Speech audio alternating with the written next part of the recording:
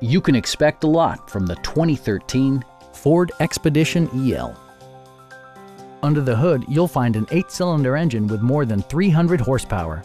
And for added security, Dynamic Stability Control supplements the drivetrain. Four-wheel drive allows you to go places you've only imagined. All of the following features are included.